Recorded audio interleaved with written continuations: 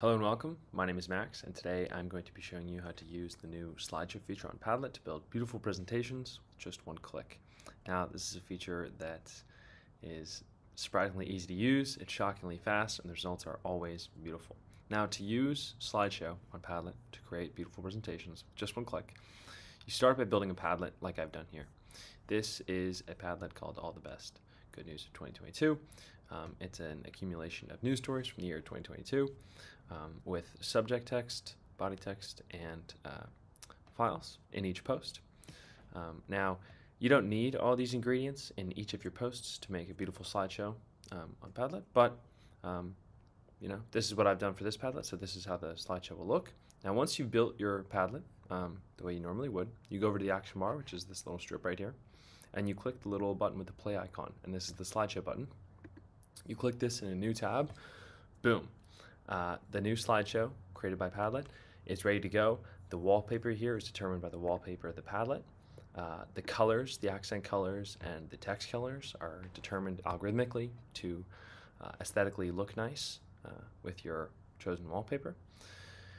And all of the formatting, arranging, alignments are done entirely by Padlet. I didn't have to do any of this, and look how good it looks. Um, here you have the subject text, the body text, and the file. As you can see, this first slide here um, is generated from this first post. Each post in the Padlet becomes a slide in the slideshow. Um, you can navigate using your cursor here um, with the arrow buttons, or by, if I, you know, as I move my mouse away from here, by using the uh, arrow keys on your keyboard which is another really great feature. Um, as you can see, all of this text, uh, I didn't have to do anything to align this or anything. And uh, as you can see from this Twitter preview, you can attach any kind of file in your Padlet and it will look great in your slideshow. So this is a Twitter preview uh, of a tweet that looks great here in the slideshow view.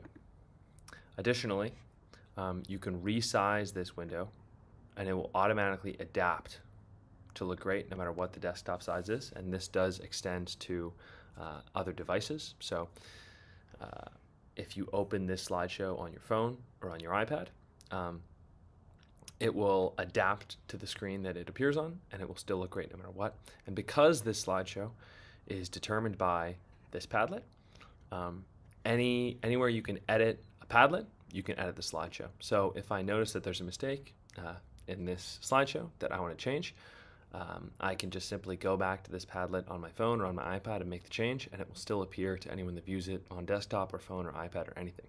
This is one of the huge advantages that Slideshow has over other traditional presentation softwares like PowerPoints and Google Slides.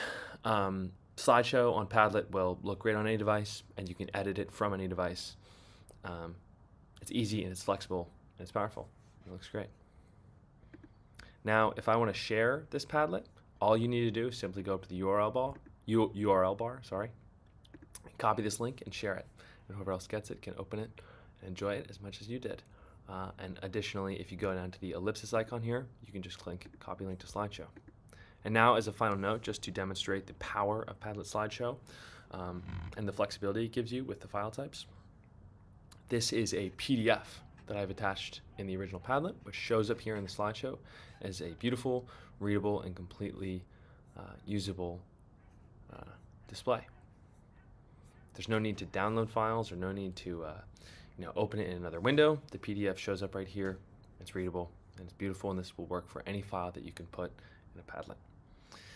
That's how to use um, Padlet Slideshow. I look forward to seeing what you create with it.